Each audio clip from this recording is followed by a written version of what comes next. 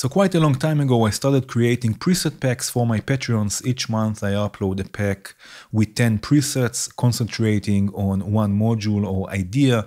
The presets themselves contain the modules and the connections already made. This month I made a preset pack um, on Interzone, concentrating on Interzone from Valley. And let me show you how it works. So I use the strip module from Störmelder which allows me to save modules with the connections. In the right click menu, if you load the, the strip module, you have the preset menu. And here you can open the folder and copy all of the presets there. You can see I have here already a few different collections. And if, for example, I select something from the latest collection, from the Interzone collection, just a preset, you can see it loads the modules now to create a preset, I use um, my MIDI controller just because it's easier to concentrate on the sound. So it loads with the MIDI to CV module that you can use also your keyboard or it, uh, you can easily also change it to a sequencer. I will show you in a second also an example of a preset. And uh, in each preset, there is also there are also some notes just explaining some stuff about the presets if there is something special you need to know or to activate or to change, um, or a few ideas how to use the preset. Now, a cool thing about the strip module that if you activate or if you enable load and replace, you can choose a different preset. Let's say I choose a different one. It will replace the modules. You see, it replaced the modules that were there and loaded a different preset. And again, it will load all of the modules with the connections already made. Usually the um, module on the far right is the output module that you connect to the output or to the mixer or to different effects, reverbs, delays, and so on.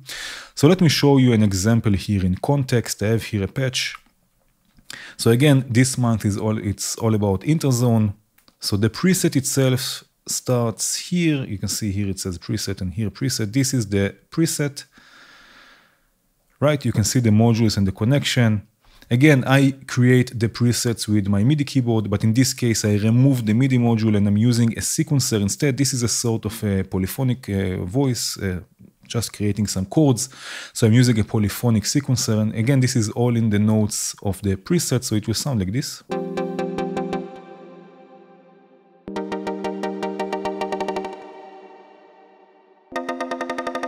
Right, so this is the preset itself with some send reverb added.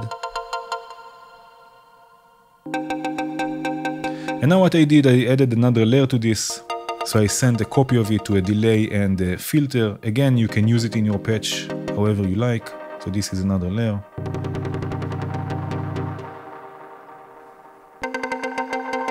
And again, just to hear it in context, I have here also some drums with a gate sequencer and a few drum modules.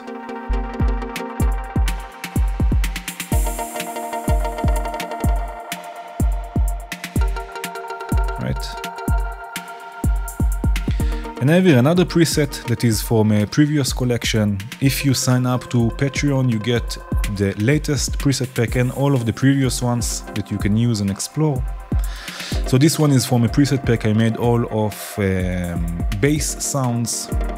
So again, this is the preset itself. You can see a few FM operators. This is sort of an FM bass with the mixer, this is how the preset loads. I just remove the MIDI module and the notes.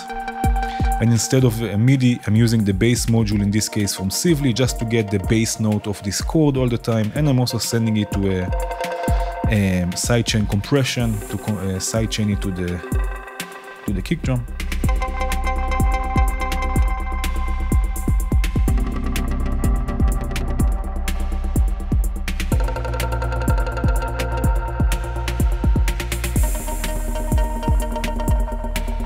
Right, so again, each month I'm preparing a preset pack with 10 presets, with the modules, with the connections already made that you can load quite easily with the strip module.